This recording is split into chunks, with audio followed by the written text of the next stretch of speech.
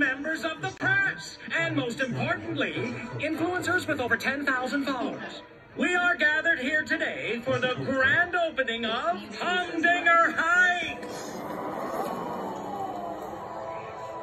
I took the tallest skyscraper in Adventure City and stuck a brand new tower on top, turning it into the tallest building in the world. And I put my office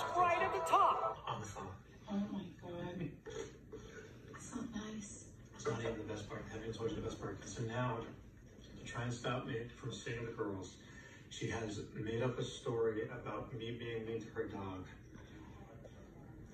I'm okay. Because better and better.